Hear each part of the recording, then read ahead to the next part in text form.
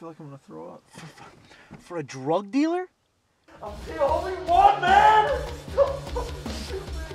It was him or it was me. And you made the right choice, period. Don't lose it on him. Just take a vacation for a little while and we'll come back in a few days. I mean, you saw that place. It was a drug deal gone bad. He was coked up, man. Period. Case closed. I know, man. It's still so vivid. I know, Joey. I was there. We both did it. Just, just calm down. You drugged my little Amy. No, no, no, no!